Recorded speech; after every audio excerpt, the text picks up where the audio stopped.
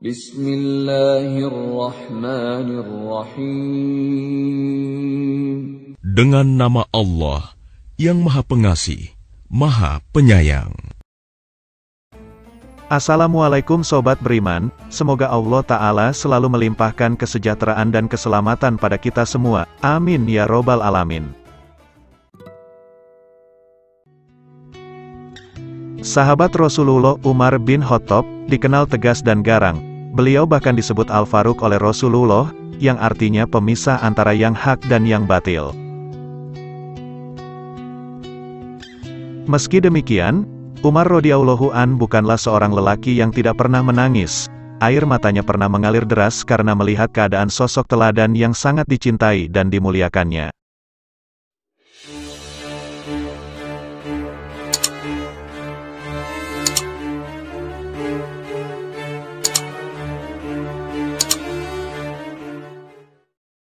Rasulullah adalah teladan bagi segenap umat manusia sampai akhir zaman. Beliau sendiri mengatakan bahwa beliau tidaklah diutus melainkan untuk menyempurnakan akhlak manusia. Abdullah bin Mas'ud menuturkan bahwa ia pernah melihat Rasulullah tidur di atas tikar sampai membekas di punggung beliau.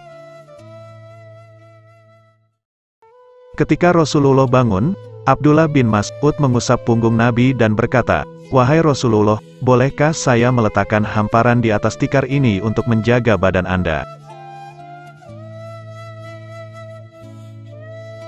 Rasulullah pun menjawab, Apalah artinya dunia bagiku, aku di dunia ini tidak lebih dari seorang yang sedang berteduh di bawah pohon, kemudian pergi meninggalkan pohon itu.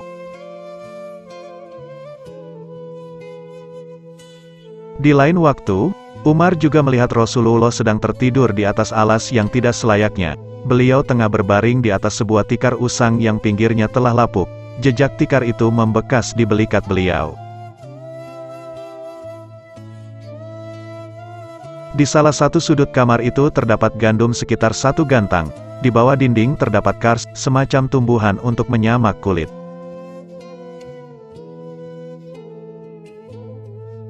Air mata Umar bin Khattab meleleh. Ia tidak kuasa menahan tangis karena iba melihat keadaan itu. Melihat air mata Umar yang berjatuhan, Rasulullah Shallallahu Alaihi Wasallam bertanya, apa yang membuatmu menangis Ibnu Khattab? Umar menjawab dengan kata-kata yang bercampur aduk dengan air mata dan perasaannya yang terbakar. Wahai Nabi Allah, bagaimana aku tidak menangis, sedangkan tikar ini membekas di belikat Anda. Aku tidak melihat apa-apa di lemari Anda, sedangkan Kisra Persia dan Kaisar Romawi, duduk di atas tilam dari emas, kasur dari beludru dan sutra, serta dikelilingi buah-buahan serta sungai-sungai, sementara Anda adalah nabi dan manusia pilihan Allah. Rasulullah yang mendengar perkataan Umar itu pun menjawab, Wahai Umar, apa engkau tidak rela jika mereka hanya memperoleh hal itu di dunia saja, sementara nanti di akhirat semua itu hanya akan menjadi milik kita selamanya. Suatu hari yang lain tempat tidur Rasulullah yang sederhana juga diketahui oleh seorang wanita Ansor. Karena tidak tega, wanita tersebut kemudian mengganti tempat tidur Rasulullah dengan kain berisi wol yang lebih empuk dan layak.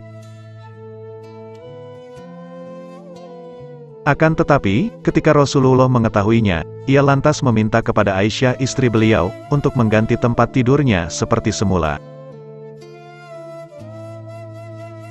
Aisyah yang menolak menggantinya, kemudian mendapat jawaban dari Rasulullah yang sangat menyentuh hatinya. Wahai Aisyah, seandainya aku mau, gunung-gunung itu akan dijadikan emas dan perak oleh Allah bagiku, kata Nabi singkat.